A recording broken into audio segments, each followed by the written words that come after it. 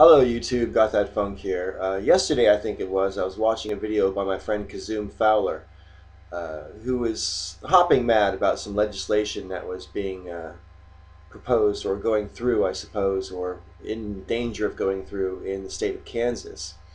Uh, House Bill 2453, I think it is, uh, if enacted, if it passes the state senate, would enable people in Kansas uh, to legally discriminate against same-sex couples uh, if they do so based on their sincerely held religious beliefs.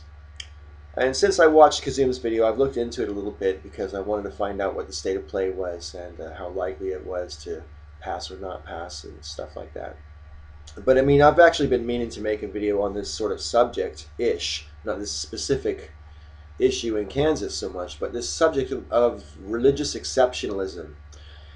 Uh, you know, I'm all for uh, the Bill of Rights uh, in general, but if we're mature, we have to recognize that sometimes uh, different rights can clash with one another.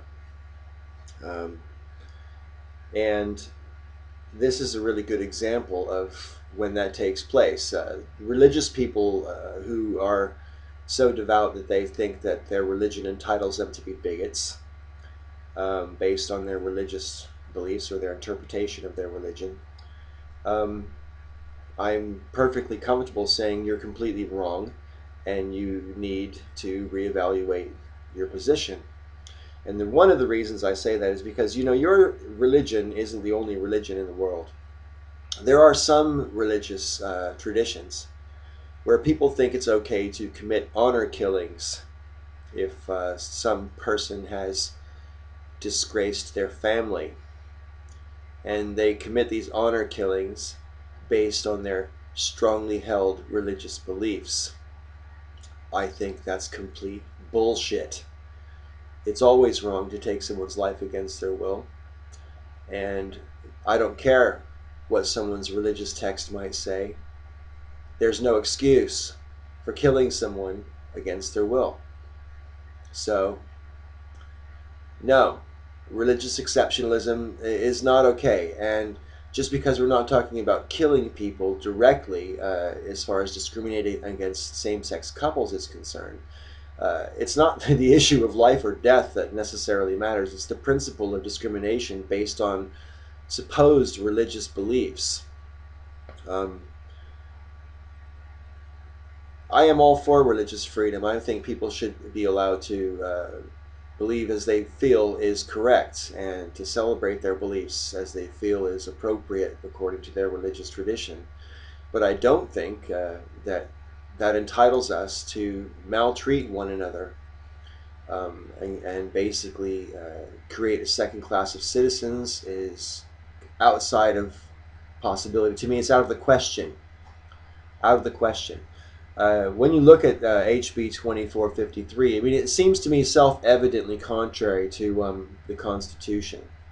I'm not even a lawyer, um, but uh, the 14th Amendment is pretty clear, and it just seems to be blatantly contradicting the 14th Amendment. So the good news is that when it was going in, in, in Kansas, the bill has passed the state house, but it hasn't yet passed the state senate, and I think the senate is possibly going to uh, recoil from pushing it through as a law thanks to all of the heat that's been generated uh, due to this story.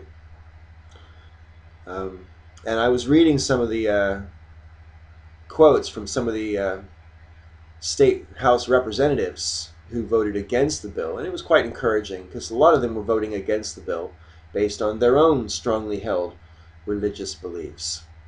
So I think it's worth pointing out that uh, not everybody uh, in Kansas who has strong religious beliefs thinks that this kind of discrimination is okay. In fact, uh, the bill, when it passed the House, it passed 72 votes in favor versus 49 votes against. And uh, I make that 60%. Uh, three out of five people voted. So for every two people that voted against it, three people voted for it. So of course that's a good enough majority to pass. But um, to me, it's a little bit encouraging that uh, when you break it down as you know, uh, three out of five.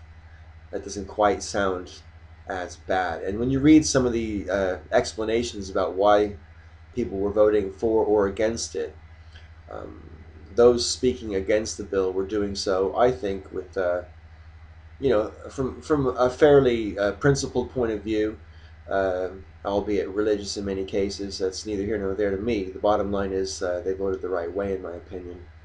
There's no way we should be legally sanctioning uh, this kind of discrimination, um, and to use your religious beliefs as some kind of fig leaf for your bigotry is disgusting to me. And that's all I'm going to say about it. So um, yeah, I'm going to keep watching this issue, and I might make another video about it in the future. I certainly will if the if it actually passes in Kansas.